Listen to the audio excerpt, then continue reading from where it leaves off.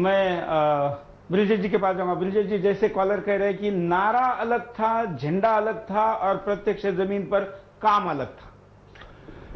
देखिए साम्यवाद की जब हम इतनी बात करते हैं तो मैं आपको नेहरू जी से एक बार पूछा गया कि साम्यवाद क्या है? तो उन्होंने साम्यवाद की व्याख्या इस तरह से करी थी कि जिस सोसाइटी के अंदर पैसा है तो वहाँ डिस्ट्रीब्यूशन ऑफ़ रिसोर्सेज है की बात हो सकती है। जहाँ पैसा नहीं है बहुत ज़्यादा गरीबी है वहाँ इक्विटेबल अपॉर्चुनिटी मतलब सब लोगों को मौका मिले। वो एक साम्यवाद की एक डेफिनेशन बिल्कुल। ये ये भारतीय सोच की एक तरीके से एक भारतीय सोच के तरीके से उन्होंने साम्यवाद लेकिन अभी ग्लोबलाइजेशन में ये सोच भी बदल गई है। देखिए पहले अगर किसी के पास पैसा आता था तो वो समाज में डिस्ट्रीब्यूट हो जाता था। वो अलग अलग सेवाएँ लोगों से लेता था, उसके यहाँ लोग काम करते थे, अब मशीनरियों का कम आधार था। अब तो लोग एलसीडी लेने में, महँगी करोड़ करोड़ रुपए की गाड़ियाँ लेने में इस पर ज़्यादा पैसा लगाते हैं। तो जो भारतीय पद्धति से अगर सोचा जाए तो ना साम्यवाद का सही है, ना आज का ग्लोबलाइजेशन का सही है।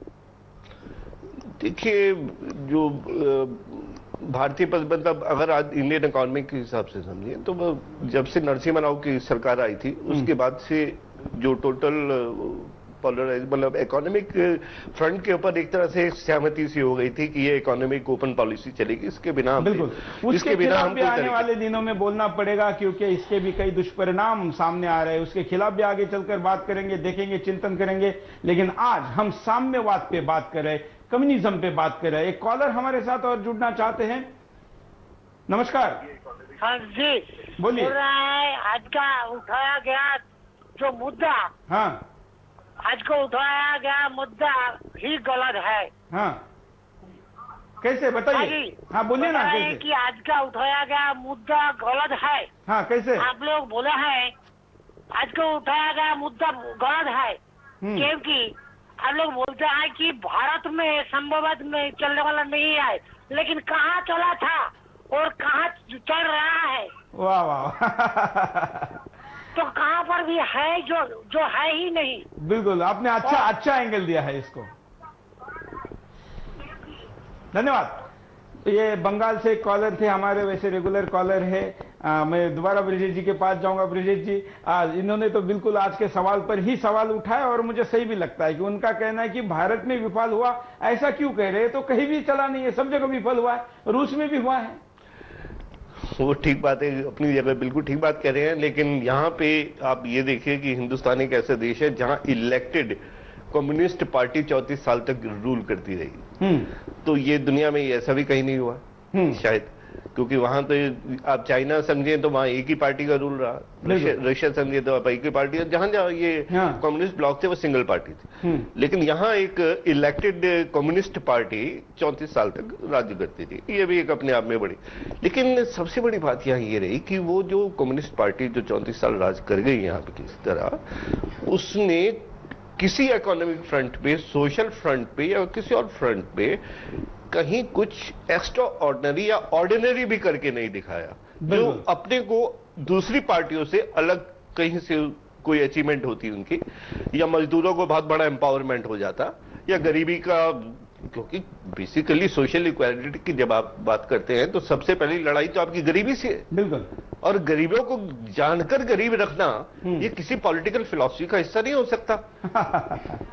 बिल्कुल मतलब अमीर और गरीबों को बराबर करने के जिद में गरीब को अमीर तो नहीं कर पाए उसको मजबूरी में गरीब, गरीब कर दिया। उसको और मजबूरी से गरीब रखना बिल्कुल। और जो वो कार्डर का काम कर सके और जो वो गरीब बन के झंडा उठा सके ये एक डिज़ाइन था मेरे को तो सीधा सीधा एक डिज़ाइन लगता है। चौबीस साल में जो इन्होंने बंगाल का सत्यानाश किया है और ये तो शुक्र है कि भारत का बाकी हिस्सा से बचा रहा। बिल्कुल। हमारे साथ एक कॉलर जुड़ना चाह रहे हैं। हम उनको भी अपनी प्रतिक्रिया यहाँ पर रखने का मौका देते हैं। नमस्कार। हाँ नमस्कार। जितेंद्र जैन बोलता हूँ। हाँ बोलिए जितेंद्र जी। हाँ। हाँ मैं कहना चाहता हूँ कि असल में साम्यवाद का जहाँ जन्म हुआ हम्म।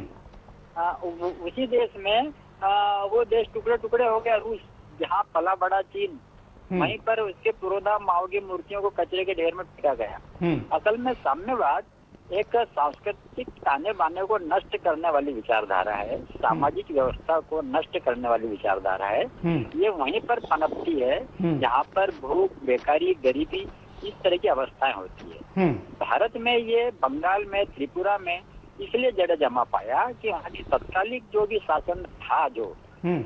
वो शासक लोग अपनी जनता की आकांक्षाओं पर खरा नहीं उतर पाए। हम्म। और ये साम्यवादियों ने हम्म। लोक लुभावन नारे देकर और मीठी मीठी बातें कर कर उन उन राज्यों के नागरिकों को इस प्रकार से बरगलाया है कि उन्हें लगा कि साम्यवाद जो है उनके सारी समस्याओं का हल कर देगा। बिल्कुल। बाद में उन्होंने अपने असली रंग में आकर हिंसा के माध्यम से डर भय आतंक के माध्यम से जैसा कि हम अभी देख रहे हैं वे लगातार इस माध्यम से उन राज्यों में काबिज रहे। क्योंकि उन जन उन राज्यों की जनता के पास ऐसा कोई विकल्प मौजूद नहीं था कि वो उस अत्याचारी शासन को कम्युनिस्टों के शासन को बदल सके। बिल्कुल। वर्तमान में ममता बनर्जी के माध्यम से उन्हें एक ऐसा शासक दिखाई दिया ऐसा शासन दिखाई दिया कि वे जो है इन समाज तोड़क राष्ट्र विरोधी लोगों को बदल सकते हैं। तो। उन्होंने जो है अच्छे विकल्प के रूप में इन्हें चुन लिया। बिल्कुल। तो धन्यवाद जितेंद्र जी धन्यवाद। यहाँ पर बहुत अच्छी बात जितेंद्र जी बता रहे हैं और आप भी कई प्रतिक्रिया दे रहे हैं सोशल नेटवर्किंग साइट के साथ भी हमें कई प्रतिक्रिया मिल रही है। और हम आपको पूछ रहे हैं कि क्या साम्यवाद भारत में विफल हुआ है? हमारे कॉलर ने इसमें और जोड़ा है और उसने कहा है कि भारत में क्या?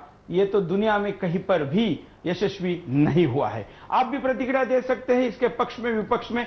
आपकी जो भी राय है, हम सुदर्शन के बिंदास बोल में पूरा लोकतंत्र देते हैं और आपको अपनी बात बेखौफ होकर कहने का मौका देते हैं।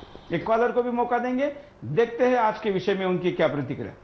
की विफलता भारत के लिए शुभ है। हाँ। सामवादी रूस और चीन के वफादार हैं भारत के नहीं। हाँ। इनके राष्ट्र पुरुष मार्क्सिस्ट लेनिनिस्ट और मौ हैं। इन्होंने चीन द्वारा भारत पर आक्रमण का स्वागत किया था और चीन की सेना को मुक्ति सेना बताया था। हम्म। इन्होंने सुभाष को तो, तोजो का कुत्ता कहा था। इन्होंने पार्लियामेंट के सेंट्रल हॉल में वीर सावरकर के चित्र लगाने का विरोध किया था। ये धर्म और ईश्वर के को नहीं मानते। अतः भारत जैसे धर्म प्रायण देश में इनकी कोई जगह नहीं होनी चाहिए। और इसीलिए इनकी जगह खत्म हो गया ऐसा आप मानते हैं? हाँ जी बिल्कुल होनी चाहिए। धन्यवाद। मैं चलूँगा अब ब्रिजेश जी के पास। ब्रिजेश जी क- बात वहीं पर आ रही है कि भारत के साथ ये विचारधारा मैच नहीं कर पाई। लेकिन फिर भी 35 साल इसने राज किया। कैसे? देखिए 35 साल जो भी शुरू शुरू में तो बड़ा लोगों का रोमांस रहा इस विचारधारा के साथ। लेकिन धीरे धीरे क्या हुआ कि कोई विकल्प नहीं था वहाँ पे। कांग्रेस जो थी, किसी ना किसी तरीके से इनको सपोर्ट भी कर रही थी, अपोज भी कर रही थी, वो ड्यूअल रोल प्ले करती रही। ये, यही मेरे को मेन कारण लगता है, क्योंकि हर फ्रंट पे ये लोग फेल हुए। वो क्या वो इकोनॉमी थी, राज्य की या सोशल सिस्टम था, या कुछ भी, कुछ नया नहीं दे पाए। बंगाल को कोई नई राह नहीं दिखा पाए जो जो लोगों की आशा थी शुरू शुरू में, इनको जब ये सतहत्तर में आए थे। तो यही एक कारण था, और जैसे ही कारण और जो भी रहे वहाँ पर इतने साल सत्ता में, वो दबंगई के साथ रहे एक तरीके से। मतलब वैचारिक का के बजाय ये एक बड़ा कारण नहीं उसके अलावा फिर इनको एक ऐसा मौका मिल गया कि इन्होंने गाँव गाँव में अपनी पैठ कर ली और जिस तरीके से मैंने बताया था कि वहाँ पूरे जैसे पंचायत सिस्टम सोशल सिस्टम वहाँ हर तरीके से कैप्चर कर लिया और लोगों की ज़िंदगी में ये रहा कि अगर वो कम्युनिस्ट पार्टी के साथ नहीं है तो वो सेक्योर नहीं है वो कुछ भी नहीं कर सकती हैं। उन्होंने उनके टोटल रिसोर्सेज को इस तरह सोशल रिसोर्स सोशल लेवल पे भी और इकोनॉमिक लेवल पे भी इस तरह से कैप्चरिंग कर ली थी।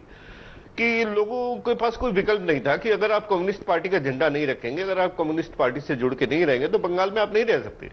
एक ऐसा एक ऐसा माहौल क्रिएट कर लिया था और इसमें कोई विचारधारा का लेना देना नहीं था।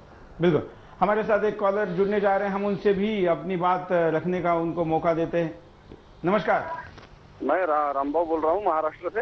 हाँ बोलिए राम भाऊ अम, अभी तक तो इन नतीजों को देखकर ऐसा नहीं लगता कि भारत में पूरी तरह से ये वामपंथी मोर्चा वगैरह विफल हुआ है या साम्यवादी विचारधारा विफल हो गई ऐसे अभी नहीं कर सकते नहीं देखिए दो दो राम भाऊ दो मैटर है खत्म होना हाँ। और विफल होना हो सकता है ये खत्म नहीं होंगे क्योंकि एक दल है हाँ। बने रहेंगे विकल्प के तौर पर लोग इनके पास भी जाएँगे लेकिन विचार विफल हुए ऐसा हम कह रहे हैं। हाँ.